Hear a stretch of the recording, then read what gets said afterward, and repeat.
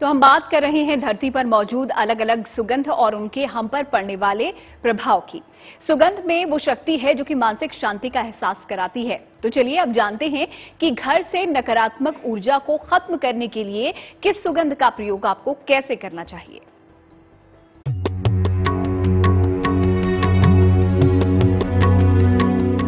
सुगंध, हर पूजा उपासना में इसका प्रयोग किया जाता है। एक ऐसी चीज़ जिसका चलन आदि काल से किया जा रहा है। सुगंध के प्रयोग से तमाम शारीरिक और मानसिक समस्याओं से आप मुक्त हो सकते हैं। इसके साथ साथ अगर आपके घर में नकारात्मकता का प्रभाव पड़ रहा है तो भी सुगंध के ज़रिए उन्हें दूर कर सकते हैं।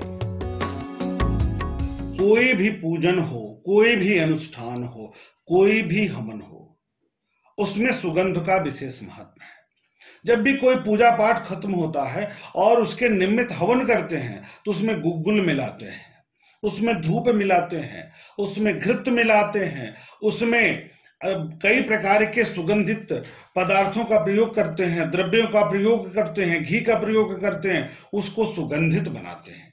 इसका मूल उद्देश्य होता है कि जब हम सुगंधित पदार्थ से हवन करेंगे तो वह सकारात्मक ऊर्जा के रूप में हमें प्राप्त होगी। हमारे घर में जो नकारात्मक ऊर्जा है, उसका समन होगा, उसके प्रभाव से।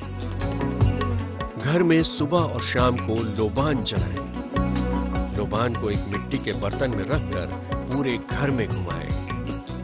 आपके घर से हर प्रकार की नकारात्मक ऊर्जा दूर होगी। तो घर के कोने कोने में होगा सकारात्मक ऊर्जा का संचार। नकारात्मक शक्तियाँ दूर हो जाएँगी। आप भी सुगंध के इन प्रयोगों को अपने जीवन का हिस्सा बनाइए। इससे आपके जीवन की बगिया महकने लगेगी और आपकी ज़िंदगी सकारात्मक ऊर्जा से भर जाएगी। Bureau report, good news today.